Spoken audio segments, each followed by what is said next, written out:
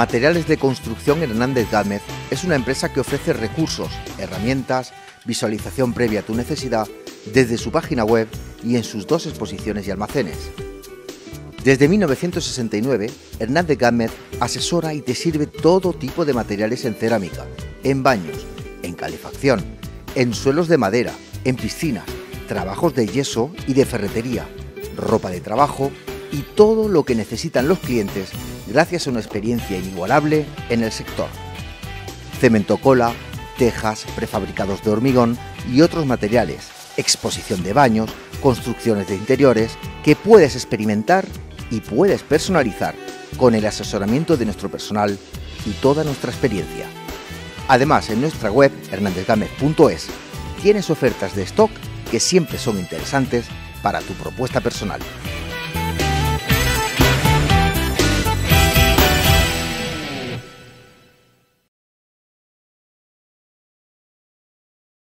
El descanso es lo primero. Por eso en Plus Sofá le ofrecemos todo lo que necesita para su comodidad y bienestar. Diseñamos y fabricamos a medida, ofreciendo en casa uno de nuestros productos, la mayor calidad en materiales y acabados.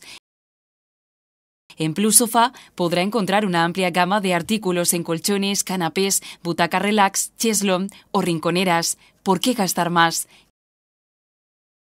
En Plus Sofá, ahorre comprando calidad.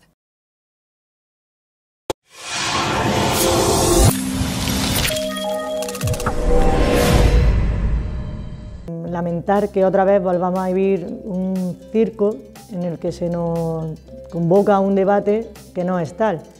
puesto que como siempre eh, comprobamos en los plenos, ellos vienen con sus alegaciones redactadas, es decir, que da igual la intervención que tú hagas y las preguntas que tú hagas, porque no tienen la capacidad de contestarte, ellos vienen con su estructura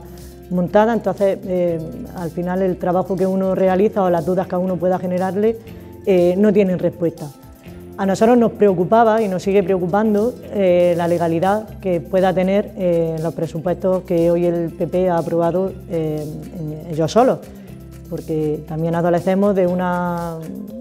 una carencia de democracia en este ayuntamiento. Se convoca un pleno con la falta de concejales, sabiendo que ellos pueden aprobarlos por sí mismos sin embargo, se mantiene el discurso de que quieren que trabajemos. El trabajo que nosotros realicemos al final da igual porque esto es lentejas y es lo que hay y no hay otra cosa. Eh, queremos poner de manifiesto que lo que nos preocupa es que una empresa externa, que por mucho que repita el concejal de Hacienda, que lo ha reiterado en varias ocasiones, es la primera vez en la historia de Linares que se externaliza la redacción completa de los presupuestos, la primera vez, ya cuando nos mandaron ese borrador eh, hicimos hincapié en que no era real los ingresos que iba a tener el ayuntamiento, era un presupuesto sobredotado. Eh, se nos dijo que no era así, sin embargo ellos mismos se han tenido que enmendar sus propios presupuestos y rebajarlos, puesto que eh, los importes que venían no eran reales. Cuando se nos convoca la comisión con estos segundos presupuestos, tanto a PSOE como a Vox como a nosotros se nos aceptan varias enmiendas y se dictamina ese presupuesto con las enmiendas. Sin embargo, nos encontramos que cuando nos convocan a pleno, los presupuestos que van a pleno ya no son los mismos que habíamos visto en la comisión y además el dictamen no recogía las enmiendas que se supone que el equipo de gobierno había aceptado a los tres partidos. Y hoy nos encontramos con que ya no son 14 eh, enmiendas las que se aceptan, son 7 enmiendas entre los tres partidos. Pueden rozar un importe de los 200.000 euros en un presupuesto de 62 millones, algo irrisorio, pero claro, es que hoy ya contaban con que no necesitaban el voto de nadie. Eh, al haber convocado el Pleno con la ausencia de concejales que habían advertido de su ausencia el viernes de la semana pasada, eh, ya todo lo que había acontecido antes era un, mero paripé. Y, remarcar que no es que a nosotros nos cree la duda legal, que sí, sino que también el interventor ha puesto de manifiesto que tiene serias dudas sobre la legalidad de la base de ejecución de los presupuestos y a nosotros nos genera serias dudas cómo se han votado las enmiendas de los tres partidos, puesto que no se ha hecho mención alguna de qué partida se va a detraer esos importes y además el interventor tampoco tenía conocimiento de las enmiendas, las ha tenido que leer hoy directamente en pleno, no se le habían remitido, no ha podido informarlas. Entonces nos parece que esto es todo un paripé, ellos tenían claro que iban a aprobar los presupuestos con sus propios votos, pero se han vendido el discurso de querer trabajar con todos los demás partidos, cuando al final se ha demostrado que eso no es cierto.